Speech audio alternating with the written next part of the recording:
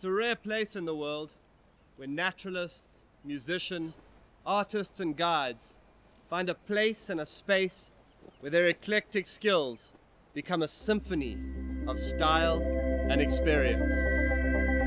It's a rare place where trackers and guides are storytellers for the land.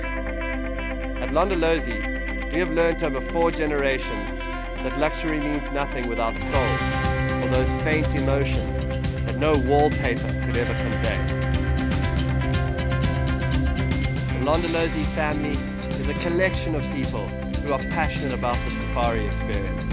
We have families within our family.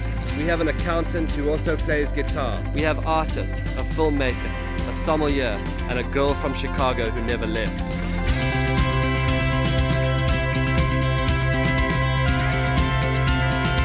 We have elders and ancient Shangaan wisdom, educators, philanthropists.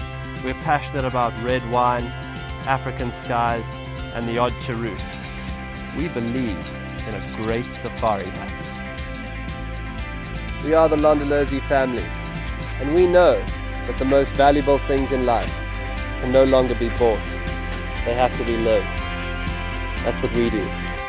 Come visit us.